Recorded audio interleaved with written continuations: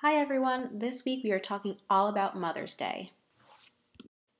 Our science experiment is all about color changing flowers as a beautiful gift for your mom.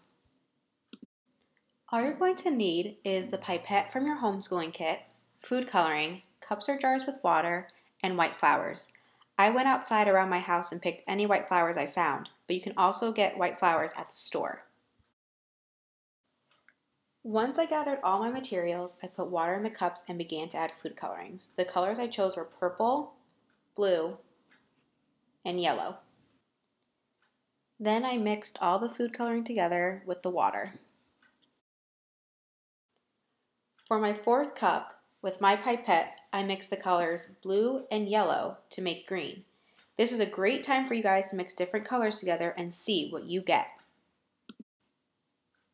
Now, just the last step is to put your white flowers in the different cups with different colors.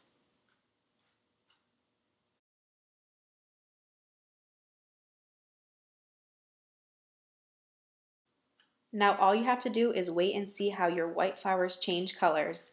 This is a great gift idea for your mom for Mother's Day. Hope you all have fun and thanks for watching.